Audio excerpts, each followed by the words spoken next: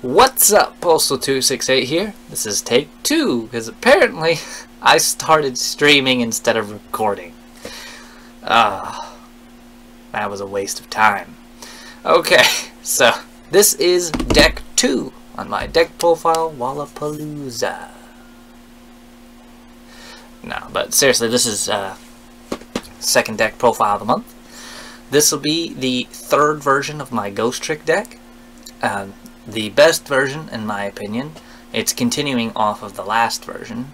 First version is completely different, so if you want to see a whole different concept of how to use ghostricks, go back and watch the first deck profile. But this one is the continuing of the last one, which was working around the barrier continuous trap cards. So I'll go ahead and open it up and explain. So, the cards in it are one Ghostrick Yuki-onna, three Ghostrick Witches, two Delg of the Dark Monarch, Mon Monarch, three Ghostrick Skeletons, one Ghostrick Ghoul, and two Crystal Seers for the monsters. All the spells are two Gravity Axes. I guess it's Garl. Uh, one Floodgate Trap Hole, one Ghostrick Break, two Draining Shields, two Spirit Barriers, and two Astral Barriers for the traps. So, the top thing of the deck is Astral Barrier combined with Spirit Barrier. Obviously, this is... God, I'm doing it again. Obviously. This is a popular thing for Ghostrick decks. Um, what it does is the Astral Barrier, if your opponent's monster attacks a monster you control. You can make that attack a direct attack instead. And then, with Spirit Barrier, while you control a monster, you take no battle damage. So, an infinite number of times, they declare an attack, you make it a direct attack, you take no damage. Assuming you have a monster on the field. It is a great combo, since you want Ghostrick Skeleton on the field, so that every turn you flip him up, remove the top card of their deck from play, flip him back face down. And for every other ghostrick you have face up when you flip him, that's another card you can remove. So it gets better and better. Now the new addition to the deck is the Ghostrick Witch. Now this has a whole nother added layer. You have two ways to stop your opponent from attacking now. Her effect is, is that once per turn you can change, uh, or you can target one of your opponent's face-up monsters and change it to face-down defense. So if you equip her with a Gravity Axe, it's an equipped spell, she gains 500 attack, but monsters your opponent control cannot change their battle positions. Th those two cards combined, she just immediately becomes a Floodgate Trap Hole, basically. Floodgate Trap Hole is when your opponent summons a monster, change that monster to face down defense position, and they can't change its battle position. Ever.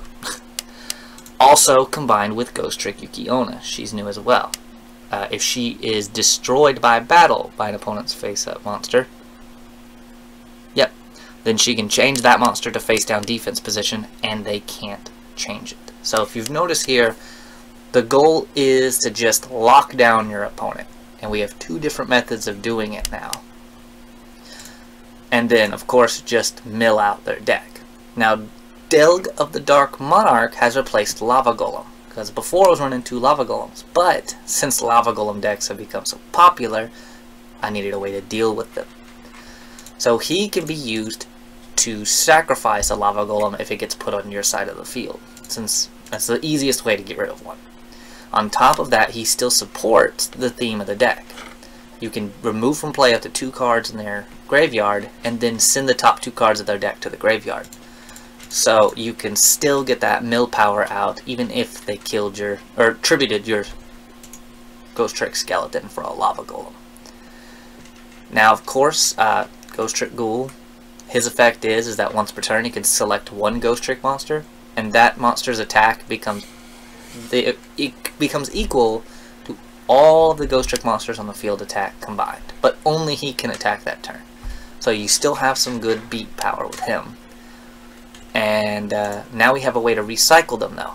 This trap card here. It says when exactly one face-up Ghostrick monster you control and no other cards is destroyed by battle or an opponent's card effect and sent to your graveyard, you can target two Ghostrick monsters in your graveyard with different names from the destroyed monster and special summon them in face down defense. So, I mean, it does have a lot of limitations on there, but it is a good way to keep your field with monsters on it. Especially if you want to, like, just say that you have some skeletons, some witches in the grave, and they've been destroyed, and you just throw down a Yuki Onna. And then boom, she dies, you get her effect, and you pull back your skeleton and your witch. Now, Crystal Seers, they're in there for consistency. Uh, flip, excavate the top two cards of your deck, add one of them to your hand, and place the other one on the bottom of your deck. So it's good, just all, all around consistency. And of course, Draining Shield, you can stop an attack and then gain life points. Which, with Destiny Draw, whoops. Yeah. With Destiny Draw, that's very handy, because you can use Destiny Draw more than once that way. Each time your life points is decreased by 2,000, you get to just draw whatever card you want out of the deck. Extremely handy, just in case you didn't know what Destiny Draw does. But uh, I think I've discussed everything in the deck now. I got that done pretty quick. but if you like this, give it a like. If you think it's a crap deck, give it a thumbs down. You know, just interact in some way. Leave a comment. Subscribe. It's been Postal268. Thanks for watching.